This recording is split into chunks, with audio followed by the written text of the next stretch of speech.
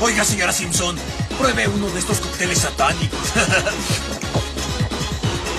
He desperdiciado toda mi vida.